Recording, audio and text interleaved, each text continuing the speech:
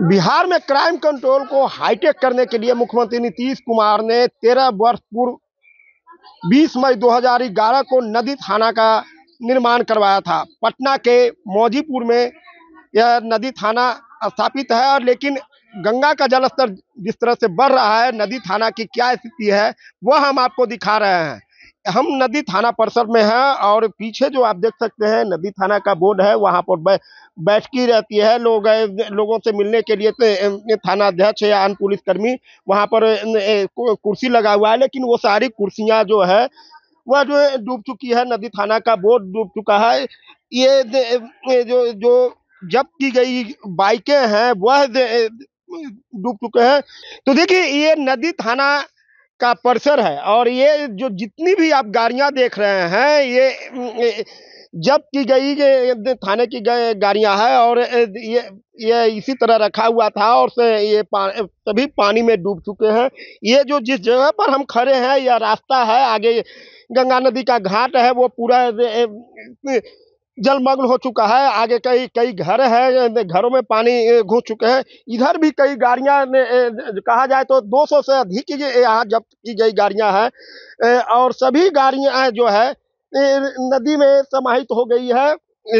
हालाँकि पुलिसकर्मी इस मसले पर कोई कुछ बोलने को तैयार नहीं है। उन्होंने कहा कि हम लोग इसमें कर भी क्या सकते हैं। ये गंगा नदी का किनारे में है और गंगा नदी का जल स्तर बढ़ने से हमेशा यही स्थिति बनी रहती है। हालाँकि 2016 के बाद जो स्थिति इस बार बाढ़ की देखने को मिल रही है 2000 2016 में जो खतरे का निशान से लगभग पचास पॉइंट बावन प्रतिशत पचास पॉइंट बावन मीटर था, जो इस बार महज एक फीट कम रहा है। अगर एक फीट की बढ़ोतरी हो तो 2016 के वाली स्थिति देखने को मिल सकती है। दो हज़ार सोलह के बाद गंगा का भयावह स्थिति इस बार देखने को मिल रहा है और नदी थाना की जो गाड़ियाँ हैं, वो पूरी तरह डूब चुके हैं, नदी थाना परिसर का डूब चुके हैं। जो ऊपरी हिस्सा है, जहाँ पर थाना अध्यक्ष और जो मुख्य कार्यालय है, अगर एक फीट पानी बढ़ता है तो पूरा थाना में नदी नदी में तब्दील हो जाएगा। पटना का नदी थाना परसर नदी में तब्दील हो गया है, कई गाड़ियाँ डूब चुकी है और धीरे धीरे जो है गंगा नदी का जलस्तर में वृद्धि हो रही है। यहाँ जो सुरक्षाकर्मी है, जो पुलिसकर्मी है, वो उन्हें भी भय सता रहा है क्योंकि जो जलस्तर में काफ़ी वृद्धि हो रही है और सुबह से लेकर अब तक क्या स्थिति हुई है।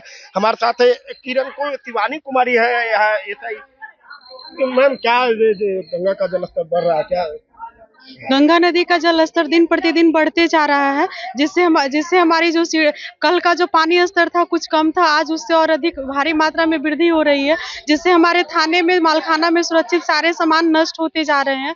और दूसरी है कि इससे हम लोग के अंदर भी भय हो रहा है कि अगर ऊपर तक पानी चला जाएगा तो हम, यहाँ जान माल की क्षति ज़्यादा होगी। जो जब्ती गाड़ियाँ कई देख रहे हैं कि डूबी हुई है।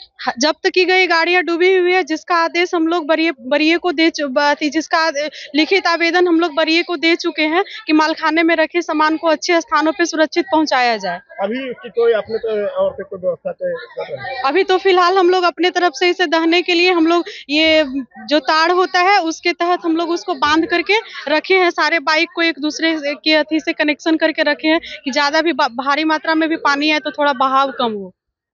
तो ये शिवानी कुमारी है एस आई है नदी थाने में जिन्होंने साफ़ तौर पर कहा कि हम लोग को भय तो हो रहा है क्योंकि धीरे धीरे जो है गंगा नदी का जलस्तर में लगातार वृद्धि हो रही है और मालखाने की जो गाड़ियाँ हैं जो पुलिस के, के लिए एक बड़ी चुनौती होती है और उसे सुरक्षित रखना है और जिस तरह से सभी गाड़ियाँ जो है नदी में तब्दील हो चुकी है इन्होंने बताया कि तार से बांधकर किसी तरह इसे सुरक्षित रख रहे हैं, लेकिन जो जलस्तर बढ़ रहा है, इसको लेकर हम लोग बड़ी अधिकारी को भी सूचना दिए हैं। Parmanand Singh, ABP news, Patna.